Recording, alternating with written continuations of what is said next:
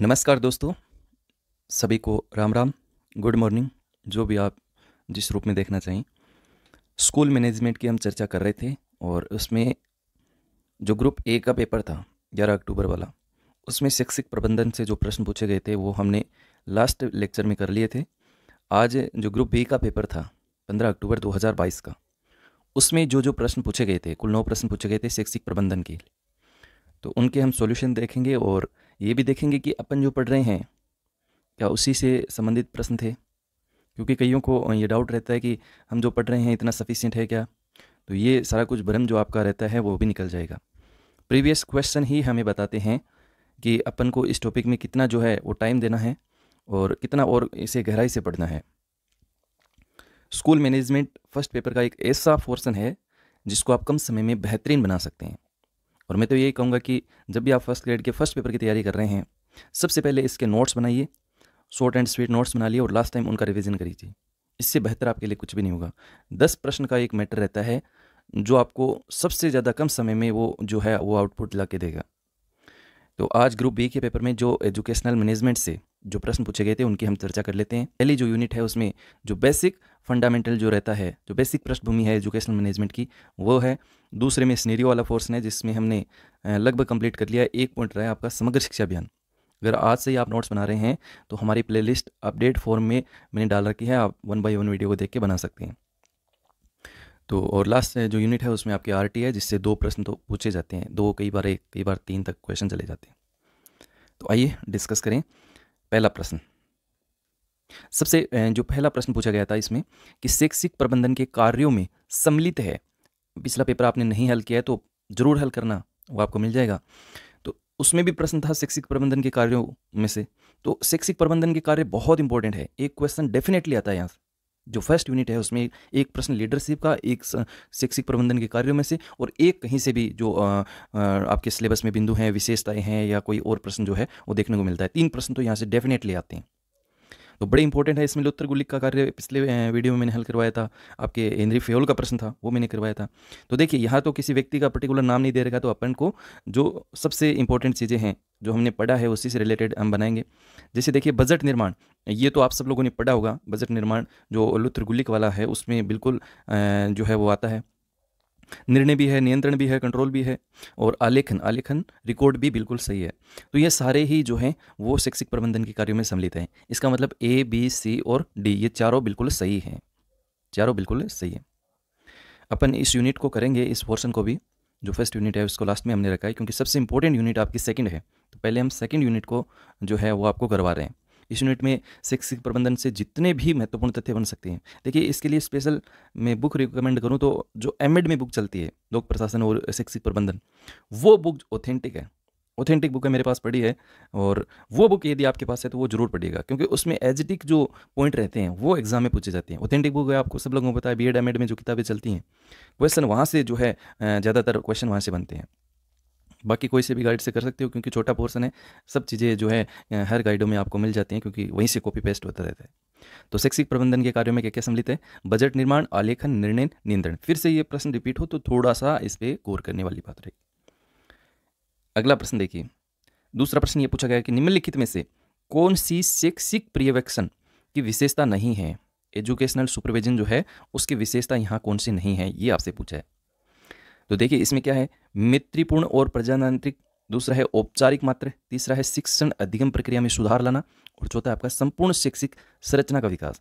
कई बार क्या होता है कि अपन को कुछ चीज़ें समझ में नहीं आती, और ऑप्शन जो होते हैं, वो हिंट दे देते हैं। जैसे यहाँ पे देखो, शिक्षण अधिगम जो प्रक्रिया है, उसमें हमें क्या लाना है? सुधार लेना है। और जब हम शिक्षण अधिगम प्रक्रिया में सुधार लेके आएँगे तो हमारा जो संपूर्ण शैक्षिक ढांचा है उसका क्या होगा? विकास होगा।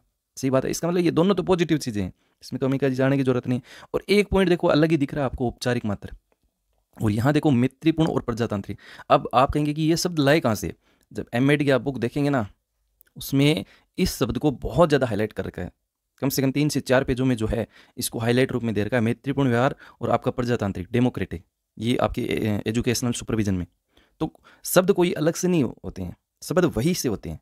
जो ऑथेंटिक चीज़ें रहती हैं, वहीं से शब्द उठ के आते हैं। और हम ये सोचते रहते हैं कि यार, मैत्रीपूर्ण क्या चीज़ है? प्रजातांत्रिक। जब आप इस चीज़ को पढ़ोगे शिक्षित प्रबंधन की जो विशेषताएँ उनको पढ़ोगे तो आपके सारे आपके सामने सारी चीज़ें खुल के आएँगी। और यहाँ औपचारिक मात्र ये अलग है।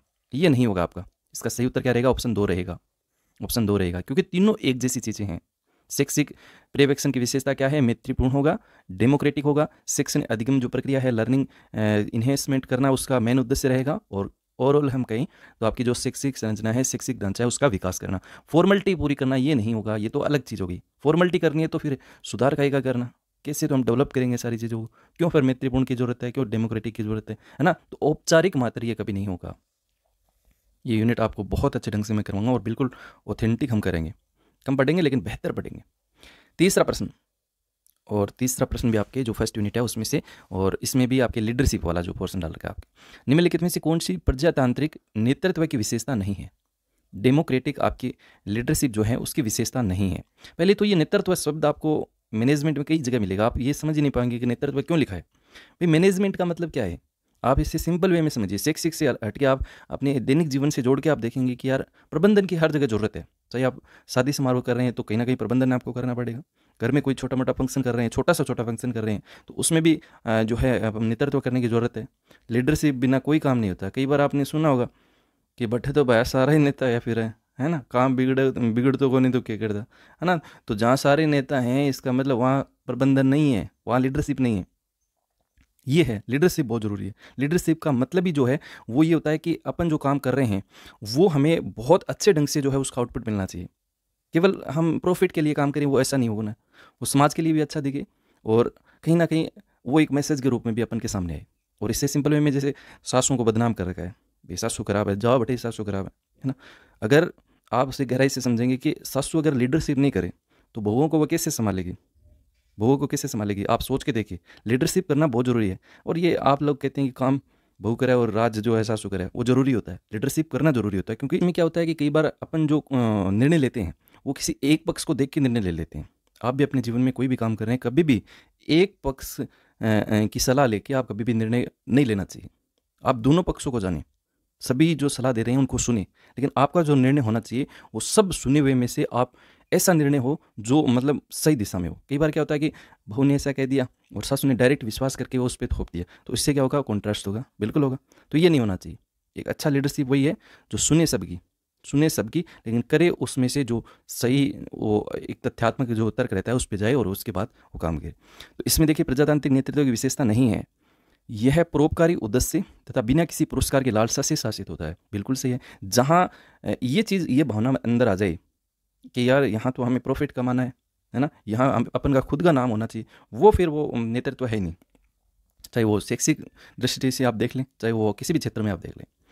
दूसरा देखिए, प्रजातांत्रिक नेता अप्रत्यक्ष सलाह और स्वयं के उदाहरण प्रस्तुत कर निर्णयों को निर्णयों को निष्पादित कर कार्य को सुनिश्चित करते हैं। बिल्कुल सही बात है। अप्रत्यक्ष सलाह का मतलब क्या है कि सुने सबकी, लेकिन करे मन की। डायरेक्ट आप किसी एक पक्ष को जान के उस पर विश्वास नहीं करना है। ये होती है, स्वयं के उदाहरण प्रस्तुत कर निर्णयों को जो है, वो निष्पादित कर कार्य को सुनिश्चित करते हैं।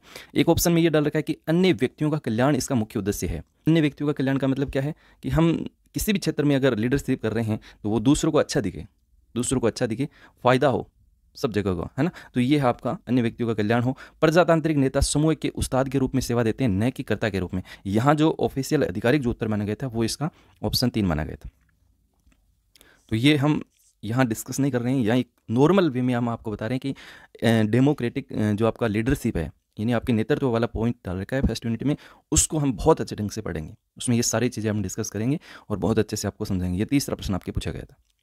चौथा प्रश्न आप सब लोगों को पता है, अब अपन जो चर्चा कर रहे हैं वो स्नेरिया वाले पोर्सन में और उसमें आपकी जो राजस्थान की उदयपुर वाली जो संस्था है R S C R T तो उससे संबंधित था कि राजस्थान राज्य शैक्षिक अनुसंधान एवं प्रशिक्षण संस्थान S I E R T जो अब R S C E R T के नाम से जाना जाता है कि स्थापना किस दिन व किस वर्ष हुई थी? आपसे वो डेट पूछिए कि किस दिन हुई थी। R S C R T के बाद में, बारे में जितने महत्वपूर्ण तथ्य हो सकते हैं, वो सारे मैंने करवाए थे। बहुत इंपॉर्टेंट पॉइंट है आपका R S C R T Udaipur वाली संस्था। मेहरोत्रा समिति, ये सारी चीज़ें मैं करवा चुका हूँ। तो सही उत्तर क्या था इसका? ग्यारह नवंबर उन्नीस सौ अठहत्तर। ग्यारह ग्यारह उन्नीस सौ अठहत्तर याद रखिएगा। ग्यारह ग्यारह अठहत्तर। बहुत आसान प्रश्न था, बाकी इसके बारे में डिटेल यहाँ नहीं करेंगे। सारी चीज़ें करवा चुका हूँ ऑथेंटिक के रूप में। पाँचवा प्रश्न, माध्यमिक शिक्षा बोर्ड। राजस्थान की जो संगठनात्मक व्यवस्था है, उसमें राजस्थान सरकार द्वारा कितने सदस्यों को नामित किया जाता है? बहुत अच्छा प्रश्न है और मैंने आपको बोर्ड ऑफ़ सेकेंडरी एजुकेशन के बारे में जितने महत्वपूर्ण तथ्य हो सकते हैं, वो सारे मैंने आपको करवा दिए अब अब उस वीडियो को आप देख नहीं रहे और सीधे क्वेश्चन को हल कर रहे हैं तो कैसे होंगे, है ना? तो यहाँ पे देखिए सत्रह, ये मैंने करवाया है, बिल्कुल आसान प्रश्न था। और इसके बाद देखिएगा, अगला जो प्रश्न पूछा गया कि state institute for quality education यानी एस आई क्यू का बदला हुआ रूप जिसमें अभी वर्तमान के तौर पे देखें तो एफ़ एल एन को भी शामिल कर लिया है। C C P C C है सी सी पी है, चाइल्ड एंड पेडागोजी है, एक्टिविटी बेस्ड लर्निंग इसको शामिल किया गया तो ये आपका ऐसा ही कार्यक्रम था और मुख्य उद्देश्य कि अपनी जो शैक्षिक, अपना जो शैक्षिक ढांचा है, गुणवत्ता है, उसको लेके आना। कार्यक्रम के तहत निम्नलिखित में से कौन सी एस आई आर टी के लिए तय की गई भूमिका एवं ज़िम्मेदारी नहीं थी? कौन सी ज़िम्मेदारी उनको नहीं दी गई थी? पहला देखिए, एकेडमिक निवेश की नियमित समीक्षा करना। दूसरा है, देखिए, प्रभावी कार्यक्रमों को लागू करके तकनीकी सहायता प्रदान करना। जहाँ तकनीकी बात आए, जहाँ तकनीकी बात आए, जहाँ एक्टिविटी की बात आई, वो हमारा पॉजिटिव आंसर रहेगा। एकेडमिक निवेश की नियमित समीक्षा करना, ये भी बात बिल्कुल सही है। तीसरा ऑप्शन एक ऑप्शन यह था कि डाइट्स की भागीदारी को सुनिश्चित करना तथा कार्यक्रम गतिविधियों को लागू करने में उनका क्षमतापूर्वक संवर्धन करना। देखिए, जहाँ एक्टिविटी मैंने कहा था, गतिविधि की बात आए, संवर्धन करने की बात आए तो वो हमारा पॉजिटिव आंसर रहेगा। राजकीय पदाधिकारियों की भागीदारी को सुनिश्चित एवं देखरेख करना। देखिए, ये इसका सही उत्तर नहीं है। एस के बारे में इसके जो ऑफिशियल जो इसकी विशेषताएँ थी, वो भी मैंने आपको करवाई थी। और मैंने कुछ पॉइंट वहाँ पे आपको दिए थे, ये आपको एग्ज़ाम में मिल सकते हैं। जैसे ये पॉइंट उसमें हाईलाइट रूप में था। कार्यक्रम की गतिविधियों को लागू करने में उनका क्षमतापूर्वक संवर्धन करना। तो ऑथेंटिक के साथ चीज़ें पढ़ेंगे तो कॉन्सेप्ट भी बिल्ड होगा और आप सही दिशा में पढ़ेंगे ऐसे नहीं है। तो यहाँ पे इसका ऑप्शन एक, इसका सही उत्तर माना गया था। एक प्रश्न आपके डाइट से ये पूछा गया था कि राजस्थान में, राज्य में वर्तमान में कितनी डाइट्स उपलब्ध हैं? अब देखिए, हर ज़िले में आपको पता है, एक डाइट होना अनिवार्य रखा गया था तो बिल्कुल ये ऑप्शन चार जो बिल्कुल सही था। लेकिन वर्तमान के संदर्भ में देखें तो यदि पाँच ऑप्शन ये हो कि पचास हो गए हैं क्या तो बिल्कुल पचास हो जाएँगे। और यदि भविष्य में अट्ठावन ज़िले बनते हैं, आठ ज़िले की और जो राम लोभाय समिति है, उसका कार्यकाल बढ़ा है, और यदि अट्ठावन बन गए तो अट्ठावन वो हर ज़िले में डाइट्स रहेगी। तो ये है आपका डाइट का प्रश्न जो ज़रूर ध्यान में रखिएगा। नेक्स्ट देखिए, कोविड महामारी में लगे लॉकडाउन के दौरान रेडियो द्वारा, यहाँ मेन चीज़ें जो थी, वो थी ये, रेडियो द्वारा शिक्षा उपलब्ध कराने हेतु राजस्थान सरकार के द्वारा स्कूल शिक्षा विभाग द्वारा कौन सी योजना लागू की गई थी? देखो, स्कूल शिक्षा विभाग द्वारा। रेडियो के माध्यम से।